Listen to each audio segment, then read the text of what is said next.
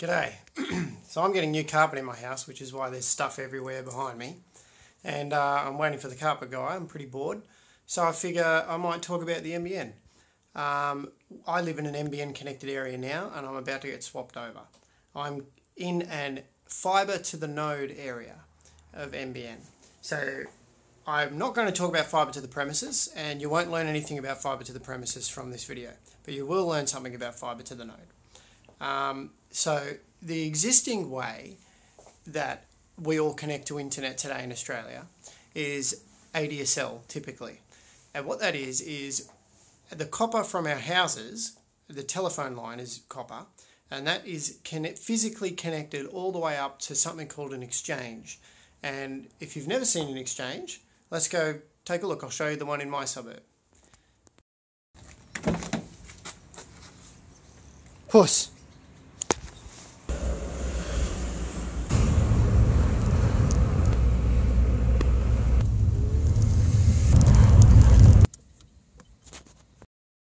So here we go. This is the exchange.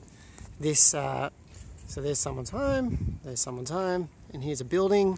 It's not somebody's home. It's an old and dilapidated building with some smashed windows. Funnily enough, a bit like our copper network. But this is it. This is the exchange.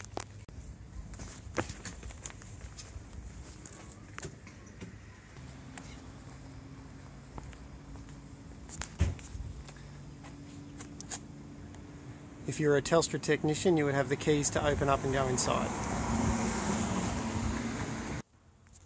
So from the exchange, all the way through the copper to your house, into your modem, you connect using a protocol called ADSL. What's happening now with fiber to the node is you're connecting to a mini exchange, if you like, a very small box called a node. The point of the node is that it's closer, physically closer to your house than the exchange is. You'll be connecting again using DSL over the copper line to the node, but it won't be ADSL 2 plus, it will be VDSL 2. It may in fact be vectored VDSL 2 using a profile 17A, but I've not been able to find any proper information about that from NBN Co. I've only heard that from a few fellas online on Whirlpool. So you can tell from this graph, which I took from a Google image search, that ADSL2 Plus really has been the right decision for Australians for quite some time, considering that in comparison to all the other DSL options, it doesn't really uh, degrade all that much the further you are away from the exchange.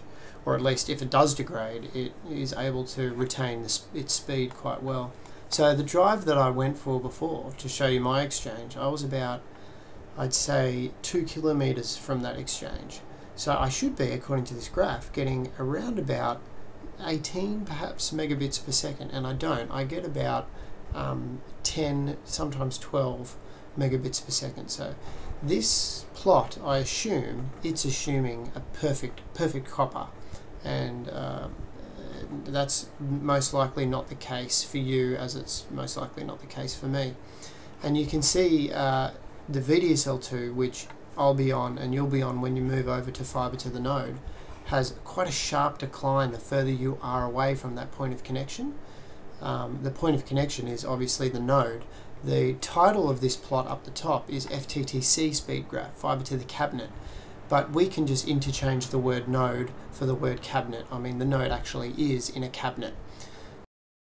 So if you know where the node is that you'll be connected to, um, and you know the distance that you, or at least you can have a pretty good guess at the distance your copper travels to get to that node. Using that graph before, you should be able to estimate what type of VDSL speed you can enjoy. Uh, you can't find that informa the information about where the nodes are from NBN Co. I've looked. They don't make that information public and they cite national security reasons for that. Uh, but if you walk around your suburb, you can find it, which is what I did and so I'll, I'll take you for a walk and show you what they look like. So this is it. It's a green box. There's an ID label on the front and this is the node when they talk about fibre to the node. So the fibre comes all the way from the exchange. All the exchanges are connected to one another via fibre across the country and then there's fibre laid under the ground all the way to the node. And then from the node, there's a, a point of junction where it swaps over to copper. And then it's existing copper to everybody's actual houses. So, once you find the node in your suburb that you suspect your house is connected to, it's good to actually confirm whether that is the node that your the copper from your house does physically connect to. And you can do that using a website called mynbn.info. So you go to this website, you put your address in. Now, I'm not putting in my address. I'm putting in an arbitrary address I picked, which I have previously checked. This address is connected to the same node as me. Um, so if you happen to live at this address, I, I don't know you. So, up pops the info. The ADAID for this this premises here, this address, is 2HAM0706. That's the ID for the node. So this is it. This is a node which is servicing an area in Merewether and uh, if I go back to the video where we walked to the node, there's an ID on the front. That matches this here, 2HAM0706. And this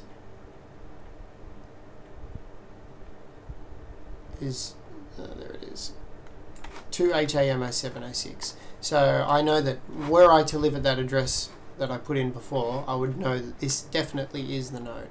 So now that I've identified where the node is, you can go to maps.google.com and estimate. There's a line tool, and you use that line tool to draw a line, and it will tell you the distance between the two points in the line. And you can use that to uh, guess how far your copper is from that node. So I, since making that first video, I have been connected over to my node and I am getting VDSL 2 services through an ISP. They're called RSPs now, not ISPs. And uh, according to the graph, I, so I was about 250 meters away from that node, I estimated. And um, that graph told me that I ought to expect about 70 megabits per second. And when I got my VDSL2 modem from my RSP and plugged it in and synced it up, it did sync it pretty much exactly 70 megabits per second.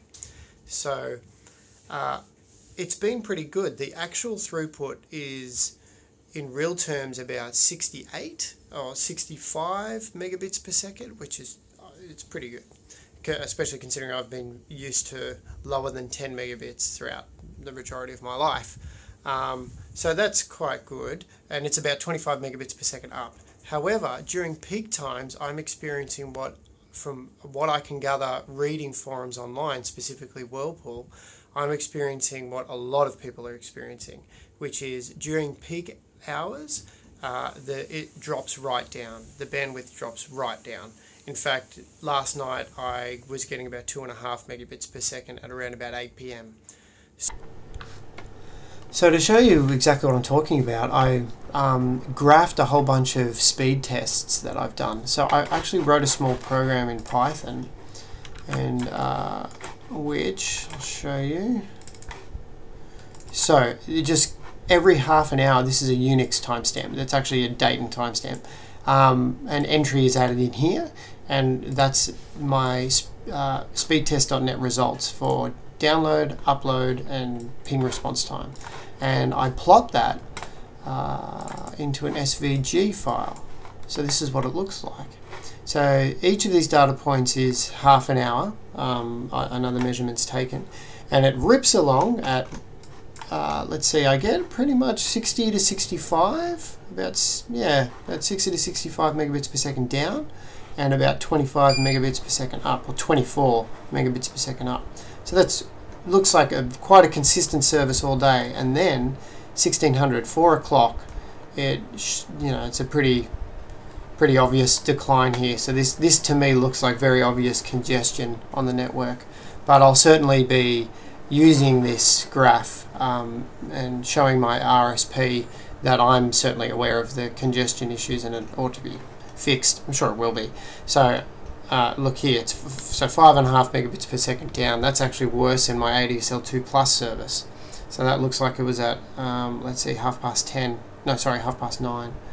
Um, So I've only been running this. I only got connected yesterday, and I the congestion was awful, and uh, I thought I thought to do this. So I quickly knocked this program up, and um, I, the first measurement, uh, funnily enough, was taken at midnight. So that's quite a nice clean snapshot from midnight onwards, and it's actually the the graph is ending at midnight tonight. So this is a 24 hour window.